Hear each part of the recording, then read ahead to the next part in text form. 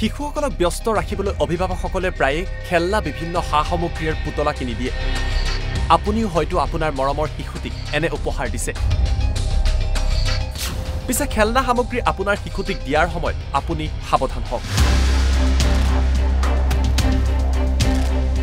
আজি আমি এই প্ৰতিবেদন প্ৰস্তুত কৰিছো অভিভাৱকসকলৰ সৈতে।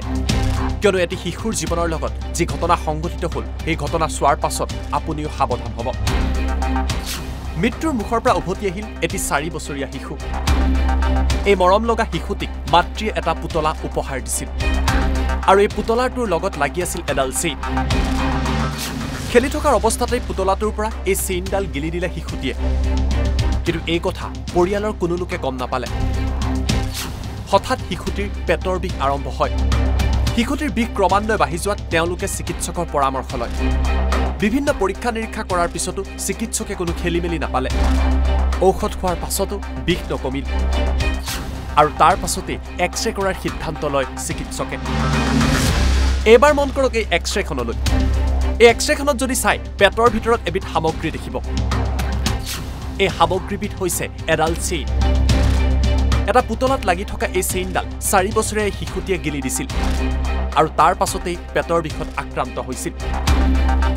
শিশুটিক ৰক্ষা কৰাৰ বাবে চিকিৎসকে এক জটিল অস্ত্ৰোপচাৰ সম্পন্ন কৰে।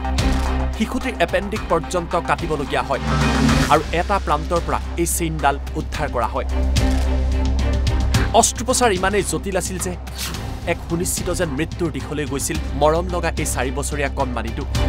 কিন্তু অৱশেষত জুদ নামৰ এই কণমানিটোক চিকিৎসকে চিকিৎসা প্ৰদান কৰি সুস্থ কৰি তুলিলে। এয়া হৈছে শিশুটিৰ মাতৃ লুজিয়ানা ফলি। আৰু লুজিয়ানা ফলিয়ে এই ঘটনা বৰ্ণনা কৰিছে সংবাদ মাধ্যমৰ আগত। আৰু তাৰ লগতে অভিভাৱকসকলক আহ্বান কৰিছে খেলনা সামগ্ৰী নাইবা পুতলা দিয়াৰ আগতে আপোনালোকে দহবাৰ চিন্তা কৰক। কিয়নো এনেকুৱা সামগ্ৰী ভুলতে আপোনাৰ শিশুটিয়েও গিলি দিব পাৰে। Bureau' report Asom live twenty four.